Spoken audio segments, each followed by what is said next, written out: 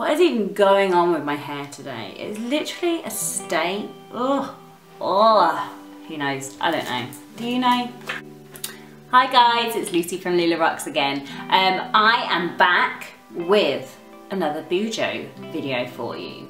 So today I am going to be setting up my December bullet journal. Uh, my last video was my November bullet journal, so I'll put a little link below for you to have a little look. It would be great if you could give me a like and a subscribe so that I can, you know, I know whether you like these videos or not. If you love them, then great, let me know. Yeah, so let's get on with December. I'm feeling festive.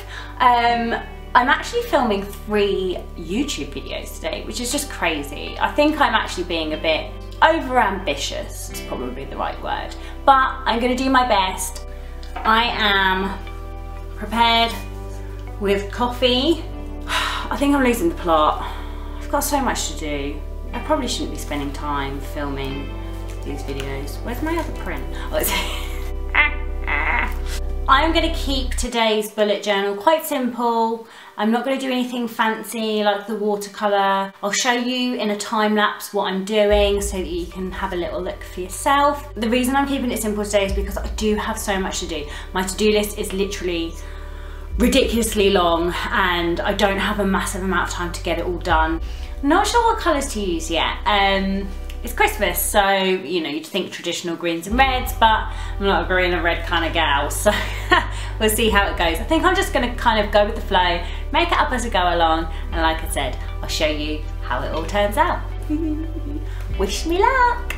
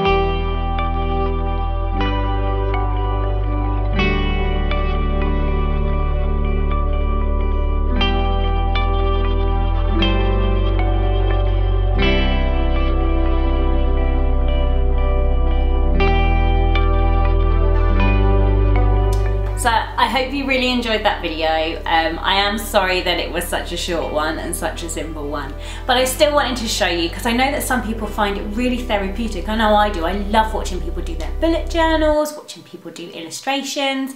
I just find it like fascinating watching. So yeah, there you go. There's my video for today and hopefully I'll see you again soon. Thanks, bye!